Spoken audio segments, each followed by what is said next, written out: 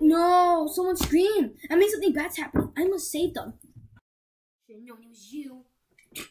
Cute, cute. In your last words. I tell me kids. Tell, tell, tell, tell, tell me kids.